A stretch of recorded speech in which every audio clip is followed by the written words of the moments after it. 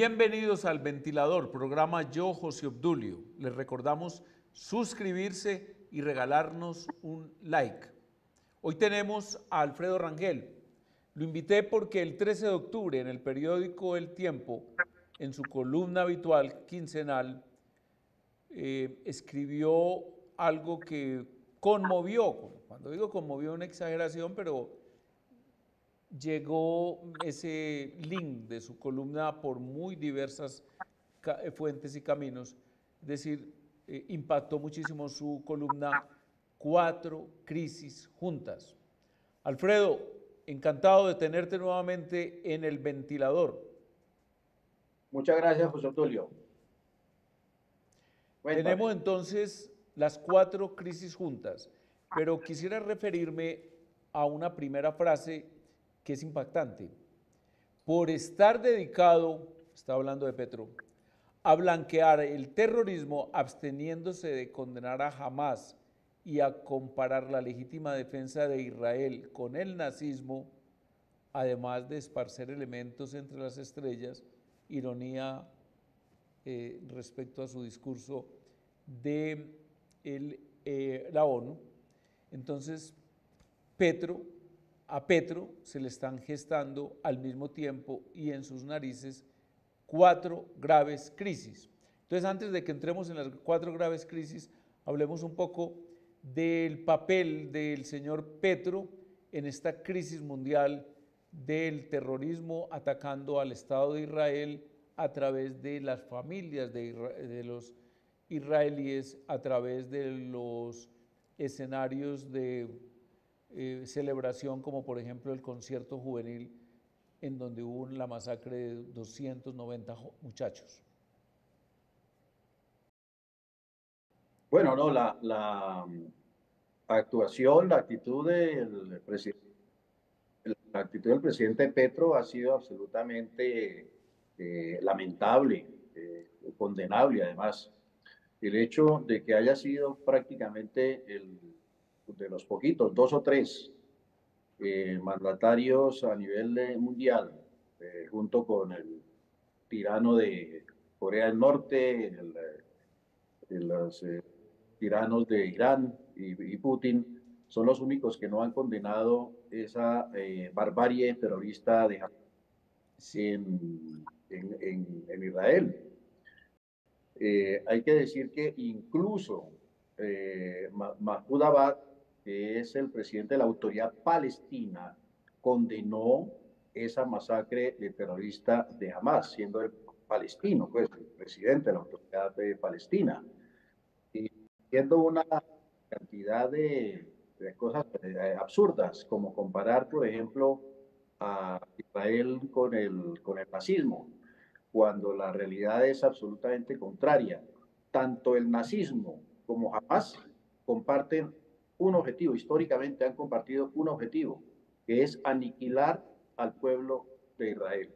Si ahora resulta que es Israel el nazi, eso es un absurdo que no, tiene, que no tiene nombre.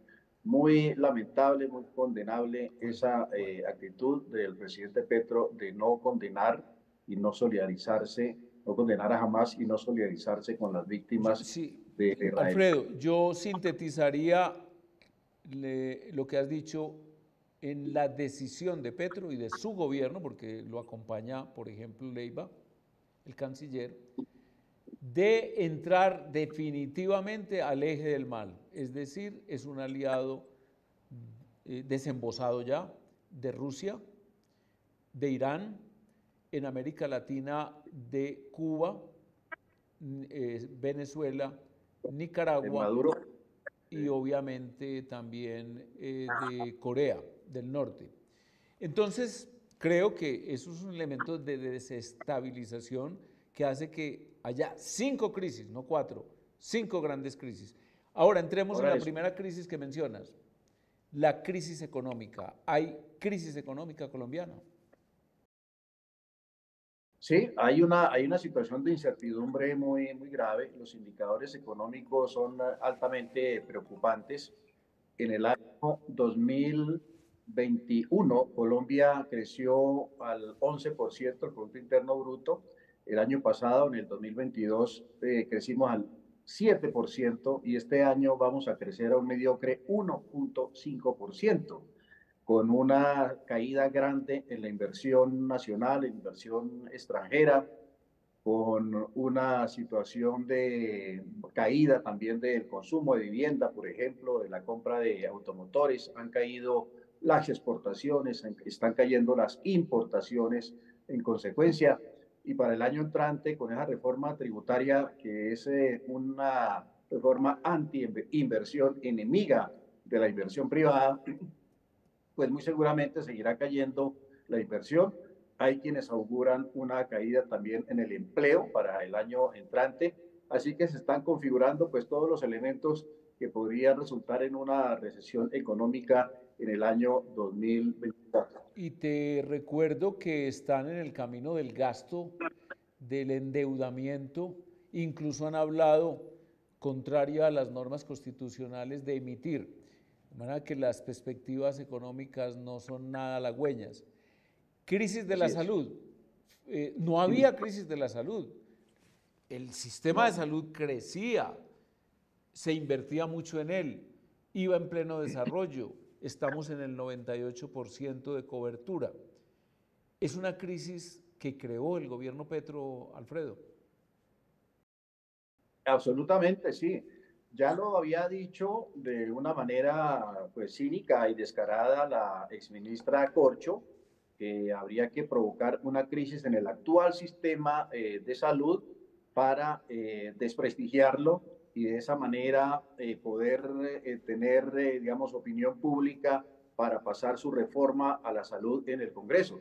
Una reforma a la salud, obviamente, que es estatizante, que acaba con el sistema actual de, de salud y nos regresa pues a los tiempos del seguro social.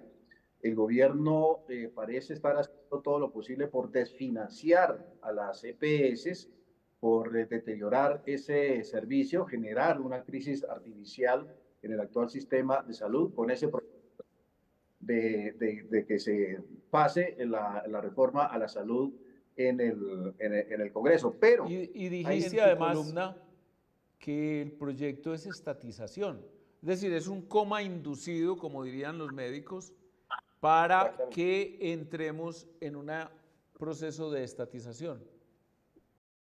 Sí, claro, quiebra las, las EPS y entonces el Estado eh, tendría que por la puerta de atrás, por decirlo de manera figurativa, eh, si la reforma no es aceptada en, en el Congreso, que es probable que no sea aceptada, o si es aceptada, pero la Corte Constitucional la rechaza, tiene todos los visos de inconstitucionalidad, en primer lugar porque ha debido tramitarse como una ley estatutaria y no como una ley ordinaria como se está haciendo actualmente. Y en segundo término, porque no tiene un aval fiscal y toda ley necesita para tramitar, empezar su trámite en el Congreso, necesita una, una, un aval fiscal claro, una opinión favorable cuando, supone, cuando supone gasto. Efectivamente. Entonces, eh, Alfredo, eh, mencionaste como tercera crisis la crisis de seguridad. ¿Cuál es la descripción que harías en al respecto de esa tercera crisis?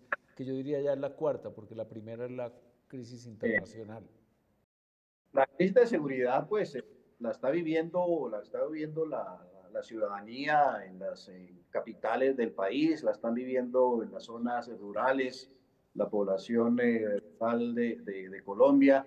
Hay un crecimiento exponencial del narcotráfico, los grupos armados eh, criminales se están eh, fortaleciendo, están eh, fortaleciendo su control territorial, su control sobre la población. Se está viendo eso ahora en la coyuntura electoral, están poniendo las condiciones para la participación electoral, dan permisos para que se inscriban o no se inscriban candidatos, inducen el voto obligado de la población, etcétera.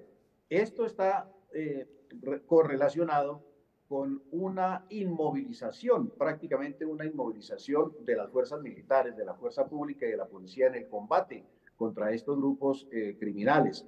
Así que en medio de esta situación, con una propuesta de paz que inmoviliza a las fuerzas militares y da vía libre a estos grupos eh, armados para expandirse, para fortalecerse, para incrementar su control territorial, pues obviamente que la crisis de seguridad se va a agudizar en el próximo futuro. Es que el concepto paz total, Alfredo, está alarmando un gran desorden, siento yo. Eh, te has referido al tema de la coca y de la expansión de sus cultivos, etcétera, etcétera. Y se vio muy claramente en las últimas reuniones donde participó el propio presidente que definitivamente este gobierno es partidario, no, no lo dice de la expansión, pero sí de la eh, estabilidad de los cultivos de coca actuales. Pues imagínate, la, la, consigna del, del, gobierno de Petro es no hacer erradicación forzosa de los cultivos de coca y ni pensar pues de hacer eh, fumigación con glifosato, sino que sea una erradicación voluntaria de los campesinos. Esto, eso ha sido una, una estrategia que se ha intentado en el, en, el pasado, en el gobierno de Santos, por ejemplo, y lo que se vio es que los campesinos que tienen como, digamos, una disyuntiva económica o siguen cultivando coca o entran a programas de sustitución del, del, del, Estado que son muy lentos, que son muy precarios, que son muy chiquitos y que no les eh, reemplazan, no les sustituyen los ingresos que derivan de la coca, pues obviamente que los campesinos siguen eh, sembrando coca. Incluso si erradican una hectárea, pues a la vuelta de la, de la, de la lomita ahí cultivan otras dos hectáreas y resulta que sigue la expansión del cultivo de la, de la coca. Así que eh, por ese lado no hay ninguna expectativa favorable de que vaya a haber ni una disminución de los cultivos de coca, ni una disminución, ni un control del narcotráfico. Y eso obviamente significa fortalecimiento de los grupos armados ilegales que todos en este momento viven del narcotráfico. Una política sin complejos, como si era un poquito acomplejada o por lo menos eh, ocultaba sus verdaderas intenciones Santos, llevada al extremo y sobre todo con un gran aliado, las FARC, tanto las desmovilizadas como las no desmovilizadas.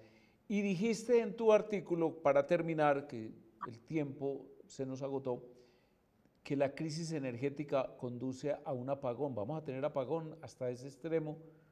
¿Piensas que va a ser la crisis? Sí, hay eh, opiniones muy autorizadas de los gremios del sector energético y de estudiosos en la materia que están eh, previendo un apagón si las cosas continúan como probablemente va a suceder tal y como están las manejando, la está manejando el gobierno. En primer lugar, habría un apagón financiero a las, eh, a las empresas que hacen la comercialización de la energía, o sea, las que nos entregan el recibo de la, tarifa del, servicio de, electricidad, de luz, les deben 6 eh, billones de pesos para poder, para poder continuar prestando el servicio, el gobierno tendría que pagarle los 6 billones de pesos. Solamente les ha prometido un billón de pesos. Adicionalmente, hay hacia el futuro la perspectiva de que el gobierno va a pasar una ley de reforma del manejo de los servicios públicos en la que el gobierno tendría el manejo de las tarifas.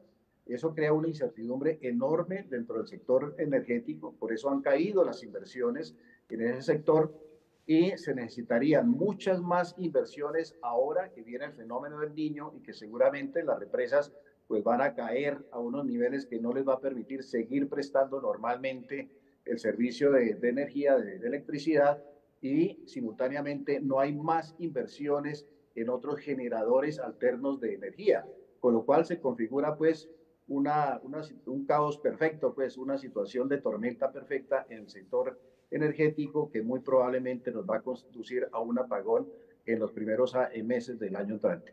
Bueno, Alfredo, tormenta perfecta que tiene una palabra, estatización, la obsesión colectivista y estatista del presidente Petro nos puede llevar a esas cuatro crisis que anuncia Alfredo en su columna y que además complementamos con una quinta que de pronto se está convirtiendo en la que los abarca a todos y es la gran crisis internacional generada por el respaldo, no el silencio, el respaldo del presidente Petro al grupo terrorista Hamas. Muchísimas gracias, Alfredo. Muchas gracias a todos ustedes por acompañarnos, darnos el like y además suscribirse al canal El Ventilador.